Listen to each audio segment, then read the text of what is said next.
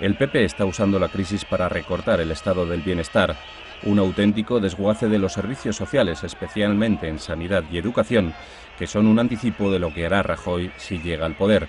La crisis como excusa ante la falta de ideas. Hay que quitarles la excusa de que la sanidad pública no se puede financiar. Es mentira y lo vamos a demostrar. La vamos a financiar para que no digan eso de que la privatización es una salida. No es una salida, compañeros y compañeras. Es una cortada.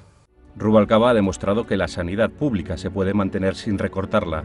Sus propuestas electorales son el cómo y el cuánto de lo que se puede hacer para salvar nuestro sistema sanitario de los recortes de la derecha. Incremento del 10% a los impuestos del alcohol, excepto el vino y la cerveza, que reportarían mil millones de euros. Supresión de las desgrabaciones a la sanidad privada, que supondrían el ingreso de 319 millones de euros. Mejora de la gestión de cobros de la seguridad social a terceros, con una recaudación de unos 700 millones de euros. Destinar 3.000 millones de euros al año al pago de la deuda sanitaria de las comunidades autónomas.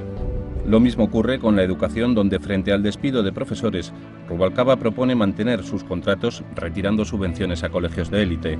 Además propone un MIR educativo para mejorar la preparación y la selección de nuestros docentes.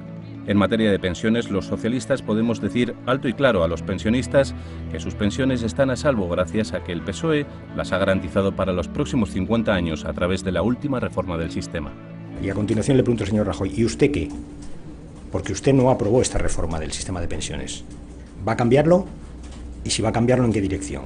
Y más, la siguiente pregunta es, ¿fue usted el que dijo depende? A mí no me han preguntado, a mí me han preguntado, yo he dicho lo que voy a hacer, pero cuando él le preguntaron qué va a hacer usted con la congelación de las pensiones, dijo depende. Bueno, pues bien, depende no.